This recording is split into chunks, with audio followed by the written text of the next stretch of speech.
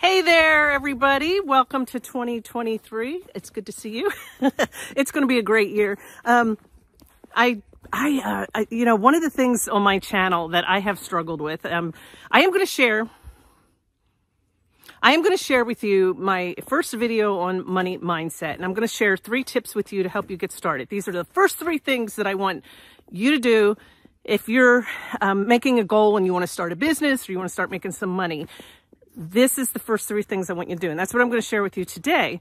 But one of the things I'll just share with you real quick, I am struggling with um, how some of the channels, you know, they have these beautiful offices and beautiful sets. And uh, I just, I, I struggled with that and I kept trying to come up with something. And I'll be honest with you, last year was a rough year for us um, in the sense, not rough, but different. We had a lot of changes. Um, my mother moved in with us. She's 89 and that's been wonderful, but we gave her my office space and that was the space that I used to do my videos. So, you know, it's fine. Um, you're just not going to see the reason I'm telling you this. You're just not going to see all these beautiful backgrounds and things like that. I will do my best to give you a, uh, to vary the background. Like today, this is outside. This is our property, our driveway. It's been snowing. Um, but you're not going to see beautiful Christmas trees and things like that. And, and I love those, don't get me wrong, but it's just not going to happen. All right, so let's get down to business. When you want to start a business, when you want to start um, making money, typically you have a dream, right? You can be sitting there right now like, this is what I want to do. I want to make money and I have this dream of how I'm going to do it. The problem is a lot of times people have this dream, but they don't give any details to the dream. They're just like, well, I want to start a rental business. Well, how are you going to do that? Did you, you know, did you put any details to it? And another thing that a lot of times stops the dream is when other people start telling you you're crazy. Like you're, you work at McDonald's. How are you going to be a realtor? Like, are you nuts? You're not, you're not able to do that. And, you know, then we start thinking, well, maybe I am nuts. I'm going to give you a little story. When I had a dream, um, I'll try to keep it short, but I, uh, it's been, what year was it? Oh, 2005. Okay. I was a single parent. I still had my two youngest girls at home. I was actually homeschooling. I was teaching online and I, I, was babysitting and I also had a job whenever their dad came to get them. I would go wait tables because I'm very productive. I don't like to just sit around. So I had different streams of income. I've always been that way, but I had a dream that I wanted to move to the country. We lived up near a, a an suburban area outside of a city. And I just always wanted to buy some land. As you can see, that dream came true because I'm on it. But back then, all my friends, okay, here I am, a single parent, um, raising two kids by myself, you know, trying to work three jobs. You know, I was busy homeschooling. I was homeschooling them too at the time. And again, it wasn't a chore to me. That's just how my life was. And I've always enjoyed doing lots of things and being productive, like I said. But everybody else would look at me and they'd say, you're crazy. You're not going to buy any land. And, and I'm not talking like an acre. I was like, I wanted at least 10 acres or more.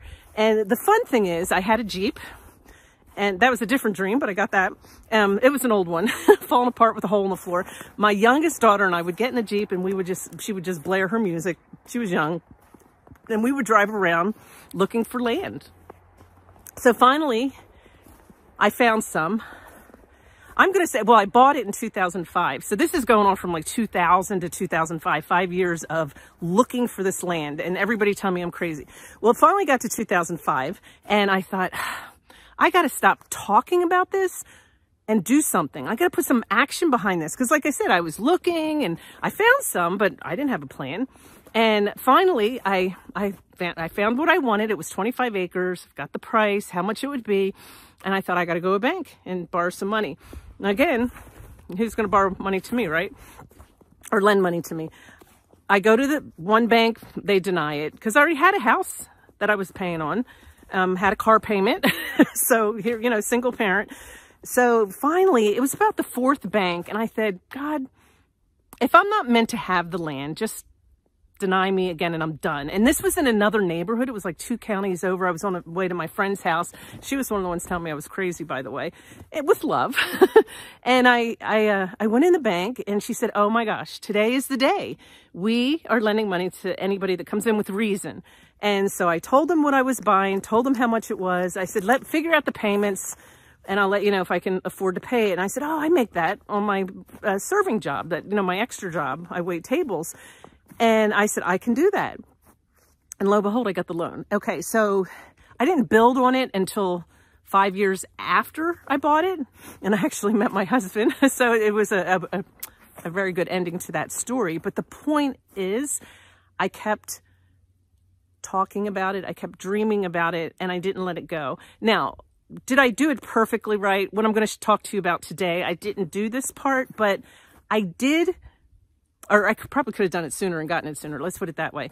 I probably talked about it too much, but um, I did get it and I didn't let other people destroy my dream. I got a video real quick I want you to watch. I just watched this the other day by Jeff Bezos, and it's not like he's my hero or anything, but I loved the story that he told in this one video. You know how videos pop up once in a while and you're like, oh, I want to watch that. Um, but I, I thought this kind of went with what I wanted to talk about. So I'm going to show that to you right now. I was working at a financial firm in New York City with a bunch of very smart people. And I had a brilliant boss I much admired. I went to my boss and told him I was going to start a company selling books on the internet. He took me on a long walk in Central Park, listened carefully to me, and finally said, that sounds like a really good idea, but it would be an even better idea for someone who didn't already have a good job. You can have a job, or you can have a career, or you can have a calling. And if you can somehow figure out how to have a calling, you have hit the jackpot, because that's the big deal. I met Jeff Bezos 25 years ago. And he told me, Dave, I want you to invest in my company. What are you doing? I'm going to start a bookstore in my garage. okay. And I'm going to put it online. People buy buy online and I'm going to ship out of my garage. But but if you invest in me, Dave, someday I'm going to be the richest man in the world. I'll, I'll do over $100 billion. First of all, there is no such thing as $100 billion 25 years ago. Statistically, there's no such thing countries didn't have a 100, our national debt wasn't 100 billion dollars. And this dude's telling me at 26 years old that he's going to be the richest man in the world because he has a garage and the internet? That was his truth. No, but he did not he did not know it and neither did I, but the difference between him and I is I was laughing, scoffing, and jesting at him, and he was already applauding himself, going, at the right way at the perfect time, I'm going to make as much as I can as quickly. And I'm sitting there going, there's no way this is going to be a big business. Do something you're very passionate about. And don't try to chase what is kind of the hot passion of the day. Seen in that light, it really was a difficult choice. But ultimately, I decided I had to give it a shot. I didn't think I'd regret trying and failing. And I suspected I would always be haunted by a decision to not try at all. After much consideration, I took the less safe path to follow my passion, and I'm proud of that choice.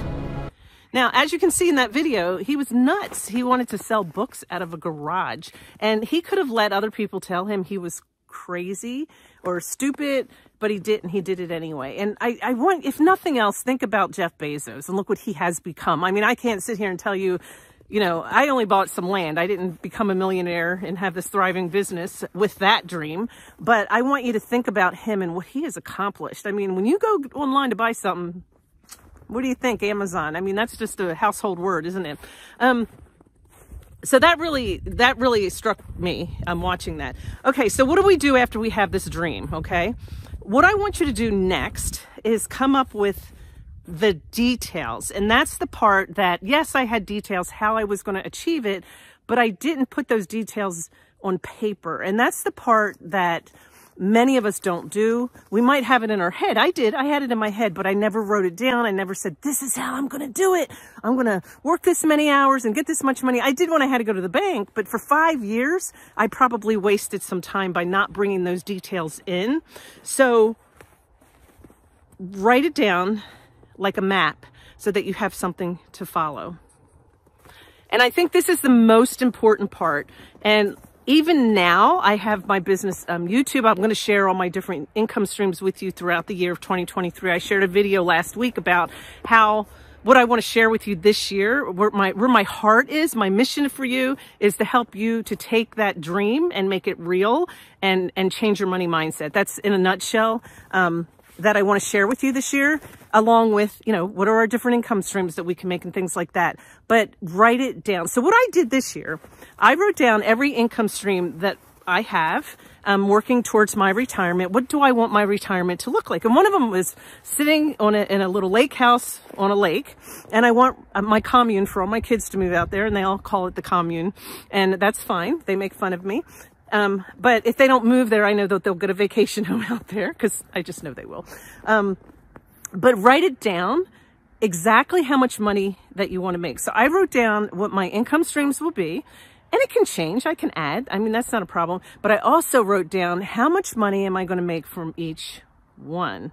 So one of the things that we are working on are short-term rentals. And uh, you'll get to see my husband build a grain bin house this year. We um, have the, um, I'm going to let you look right behind me here. Uh, let's see here. Can you see? It's all snowed. See that round circle behind me? That is the foundation for the grain bin house and it's on the front part of our property. And we're going to turn that into a short-term rental and also a hunting um, rental for people because we've got hunting out here. Um, but our goal is to build seven of them um, eventually and have that income coming in. And I have written down exactly how much money I expect to make from that. Now, I wasn't over elaborate. I was very realistic.